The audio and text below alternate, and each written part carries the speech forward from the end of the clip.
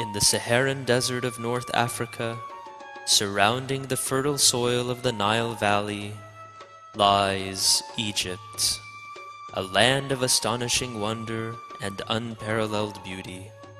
Historically, one of the most advanced ancient civilizations of its time. Even until this day, the mysteries and secrets of the only surviving wonder of the ancient world dumbfound the most sophisticated engineers and scholars of today. Some of the greatest rulers to have walked this earth have come from the land of Egypt. Hatshepsut, Nefertiti and Amenhotep, Tutankhamun, and Ramses.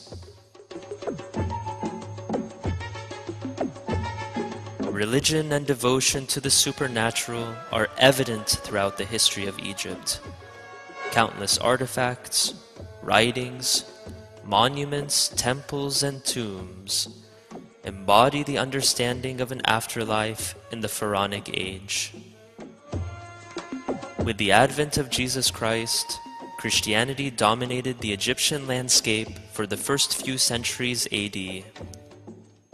Since the 7th century, the religious devotion of the Egyptian people has continued under the cross and the crescent, where Muslims currently make up the majority of Egypt's population.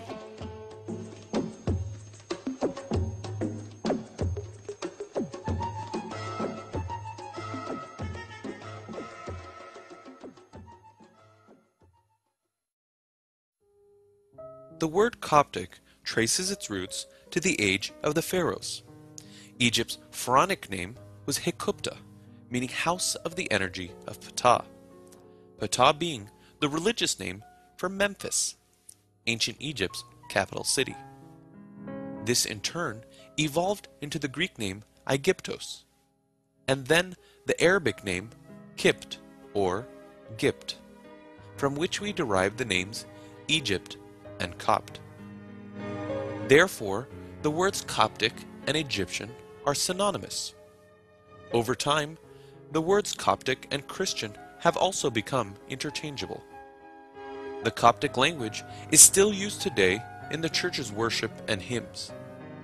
Its letters evolved from the ancient Egyptian hieroglyphs and currently bear many similarities with Greek. In fact, the Coptic alphabet is comprised of the 24 letters of the Greek alphabet, and seven letters unique to the Coptic language.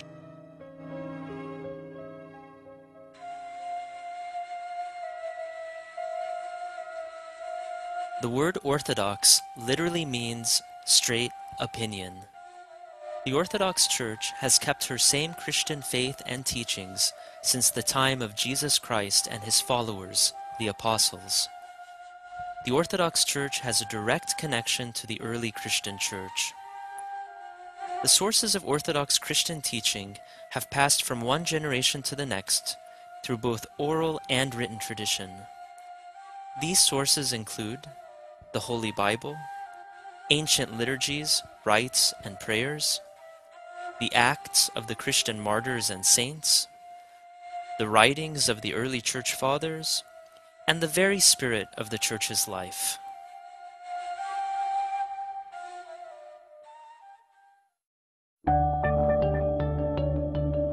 To understand how Christianity spread in the land of Egypt, we must look back further to the age of the pharaohs.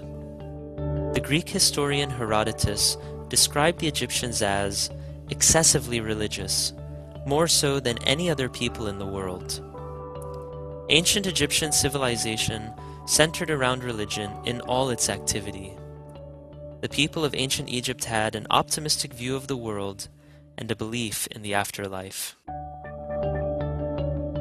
Although polytheistic, the religion of the ancient Egyptians came to identify Amun Ra, the great god of Thebes, as the most important.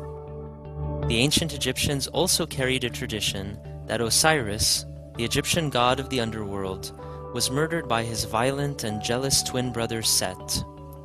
However, Osiris resurrected and received eternal life. Against the backdrop of these mythological stories, the minds of the Egyptians were ready to embrace the reality of Christianity.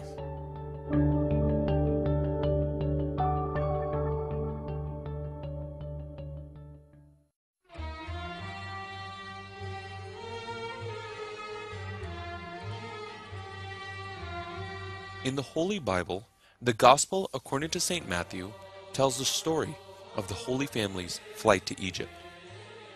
Jesus and his family found refuge there as they fled the persecution by Herod the Great, king of Judea. Although the Bible is silent about the details of this journey, much has passed on to the church through oral and written tradition.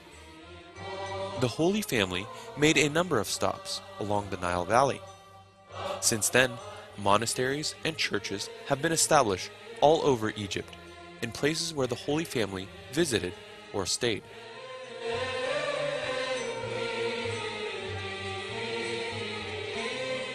After his resurrection, Jesus Christ sent his disciples and apostles to preach Christianity to the whole known world at that time. St. Mark, one of the four gospel writers and an apostle, preached in Alexandria and founded its church in the year 48. For this reason, the Coptic Church recognizes St. Mark as her first pope. Since then, the church has ordained bishops, priests, and deacons to provide pastoral care for the church. Because these clergy come from a continuous line that traces back to the Apostle Mark, the Coptic Church is considered an apostolic church. To illustrate this point, his Holiness Pope Shenouda III, the current leader of the Coptic Orthodox Church, is the 117th patriarch successor of St. Mark. Today, the Coptic Church continues to flourish in Egypt and abroad. There are churches in over 100 dioceses on all the inhabited continents of the world. There are well over 160 churches in North America, including about 40 churches in California alone. The Coptic Church has also established monasteries in the United States, Australia, and Europe.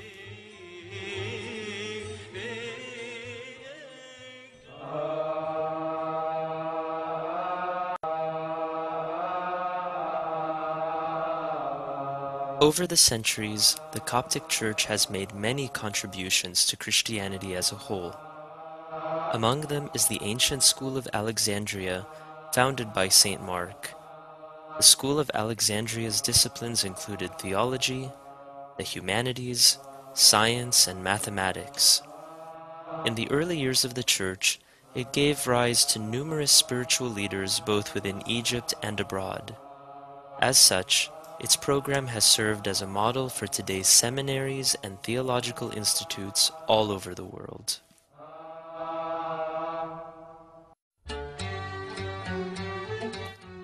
A second important contribution is the preservation of the Christian faith. Since the early days of her existence, the Church has fought against heresies that deviate from a proper understanding of the path to salvation or the person of Jesus Christ. Through her Holy Fathers, the Coptic Church played an important role in preserving the true Christian faith.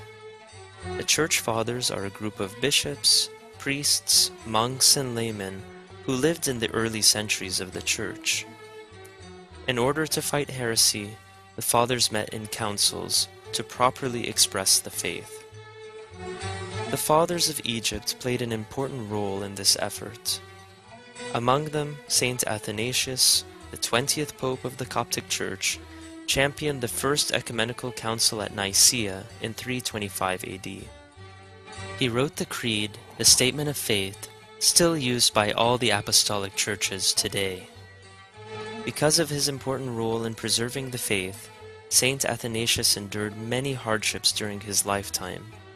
He was banished from his position five times and spent more than 17 years in exile. The well-known expression, Athanasius against the world, defined his commitment to guarding the faith.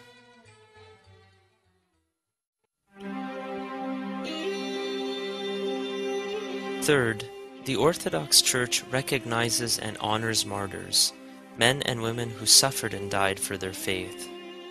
While the early years of the Coptic Church were marked by relative peace, The second and third centuries saw 21 waves of persecution, the fiercest one under the reign of the Roman Emperor Diocletian. During his reign, the Church offered countless martyrs, by some estimates between 500,000 and 1 million. For this reason, the Coptic Church begins its calendar in 284 AD, the first year of Diocletian's rule. The calendar is based on the year of the martyrs, Anno Martyri. For example, the year 2009 to 2010 AD corresponds to 1726 AM on the Coptic calendar. Early church historians, writers, and fathers testify to the numerous Egyptian martyrs. Tertullian, a 3rd century North African lawyer, wrote, If the martyrs of the whole world were put on one arm of the balance, and the martyrs of Egypt on the other, the balance would tilt in favor of the Egyptians. Despite periods of martyrdom and persecution, the number of believers continued to grow. The lives of the martyrs have inspired many to embrace the Christian faith.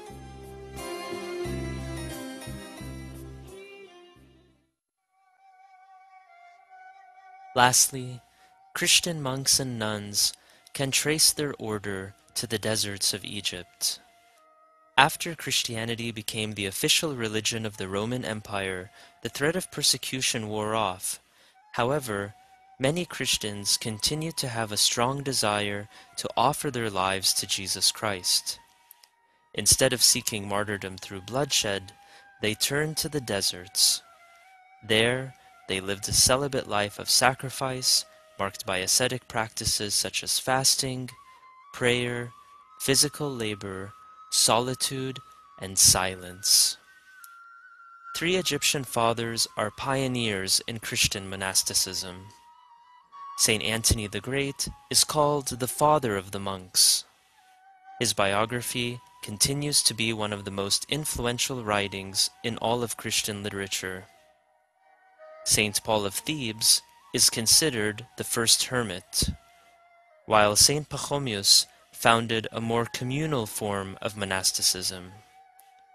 Today, Christian monasticism continues to call many men and women to become monks and nuns and to live a consecrated way of life. Today, the Coptic Church is marked by spiritual practices that aim at bringing her members into unity with and the knowledge of truth in Jesus Christ. These practices include fasting, prayer, and the sacramental life of the Church. Liturgical prayer is a very important part of Orthodox worship. The word liturgy literally means the work of the people. Therefore, the Divine Liturgy is the work of God's people and invites the participation of all. It is comprised of a system of rites and rituals that include prayers, supplication, chants, and readings from the Holy Bible. At the height of the Divine Liturgy is the consecration of bread and wine into the true body and true blood of Jesus Christ. The faithful partake of Holy Communion, the Eucharist, to unite with Jesus Christ and with one another.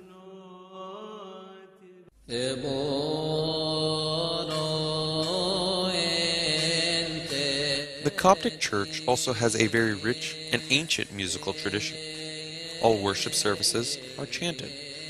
Some melodies are said to date from the time of the pharaohs, while others have a strong Byzantine influence.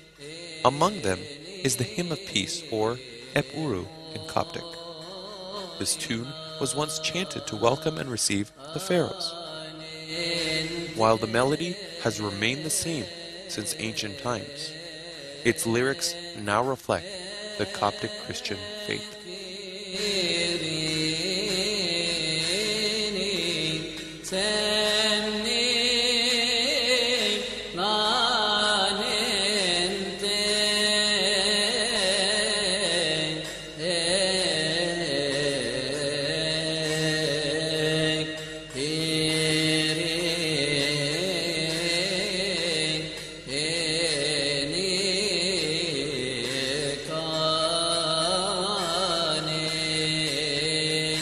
Coptic hymns are often accompanied by hand cymbals and a triangle to maintain beat and rhythm.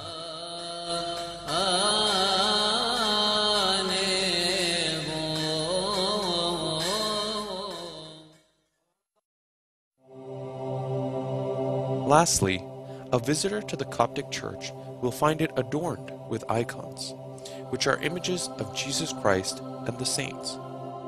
Unlike pictures or portraits, icons are not meant to capture natural or physical characteristics, but rather the spiritual. Deep theological teachings are conveyed in the features and colors of icons.